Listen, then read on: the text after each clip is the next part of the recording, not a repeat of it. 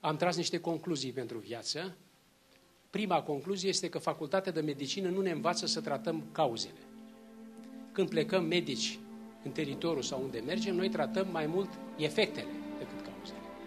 Și se constată că sunt câteva centre în țară, cred că 3-4 dacă sunt, uh, care au același scop ca și dumneavoastră.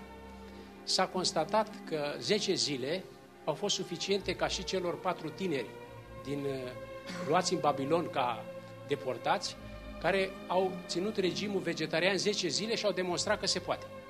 M-am gândit dacă dumneavoastră ați luat aceste 10 zile de acolo sau ați hotărât așa, fără să vă gândiți la această problemă. Vreau să vă spun și să vă apreciez în același timp pentru faptul că nu sunteți numai o familie creștină. Toți am fost o familie creștină și ne-ați tratat fără deosebire exact cum scrie la Cartea Cărților, să vă iubiți unii pe alții. S-a simțit acest lucru și mai departe s-a simțit faptul că în fiecare lucrare pe care o faceți, și așa, este și așa e bine și frumos, cereți ajutorul lui Dumnezeu printr-o rugăciune făcută la capul bolnavului sau la procedura pe care o executați.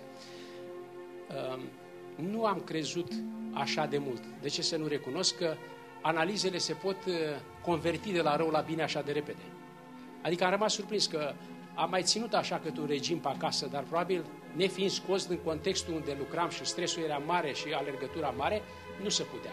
Faptul că am fost izolați în acest vârf de munte, să știți că ne-am simțit foarte bine, am comunicat unii cu alții, indiferent de religia pe care am avut-o, n-au fost litigii sau alte probleme între noi, ba din contră ne-am încurajat unii pe alții și mi-a plăcut foarte mult faptul că omul când servește masa și omul modern când servește masa, și între ghilimele masă bună și ea este foarte proastă, are tendință să se culce, să doarmă două, trei ore și efectele s-au văzut că de-aia am venit noi aici.